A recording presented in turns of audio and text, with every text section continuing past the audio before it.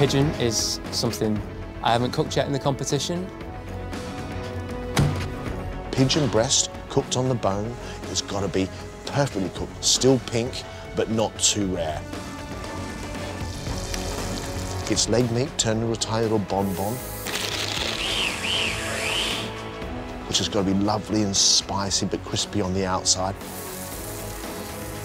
A sauce made with blackberries and then carrots in different ways. I remember John saying I'd take a carrot and suck all the life out of it. I think that's the only thing I haven't put right throughout this entire competition. So the carrots are going to be good. He's doing little heritage carrots. He's doing a carrot puree and he's doing carrots vichy at the same time to prove to me that he can cook a carrot really well.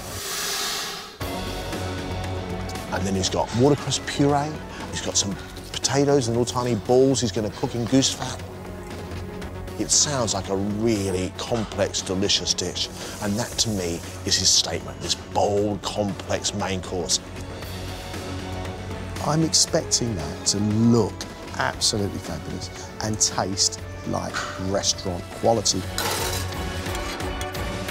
Simon's main course is squab pigeon served two ways roasted breast and a pigeon leg bonbon stuffed with pigeon leg meat, chicken, mushroom duxelle, and armagnac. It's served with three types of heritage carrots, cooked sous vide in butter, salt, and thyme, pomme parisienne, roasted in goose fat and seasoned with smoked salt and garlic, girolle and trumpet mushrooms, carrot puree, watercress puree, and a cassis jus. I marvel at the mind that comes up with the five little green dots that just sing, that just scream from the plate.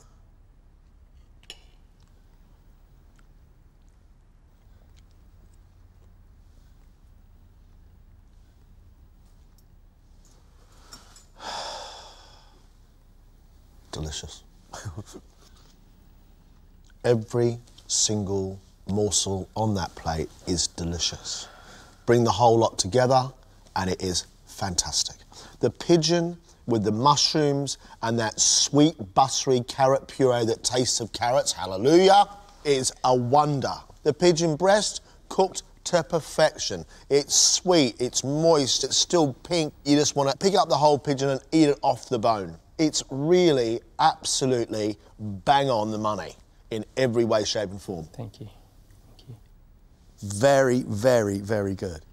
The smokiness on the crispy potatoes, the butteriness through the puree, the depth of flavour in the sauce. Very pleased for you, mate, because your ambition's been sky high since you got here. You've worked very hard. I'm very, very pleased for you. That's a beautiful dish. Simon's final dish is lemon posset topped with seven garnishes citrus tutti frutti, charred grapefruit and orange segments, a lime tuile, limoncello pistachio crumb, edible flowers, tarragon leaves, and a lime air. The prettiest posset in the land. I have to say, it really is. It's just really dainty, really elegant. Yeah, you've tarted up your posset very well. Yeah.